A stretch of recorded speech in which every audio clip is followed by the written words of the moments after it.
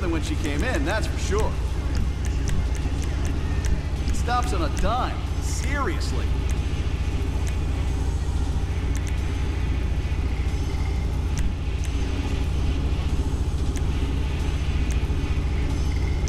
If that car was a woman, I'd kiss her.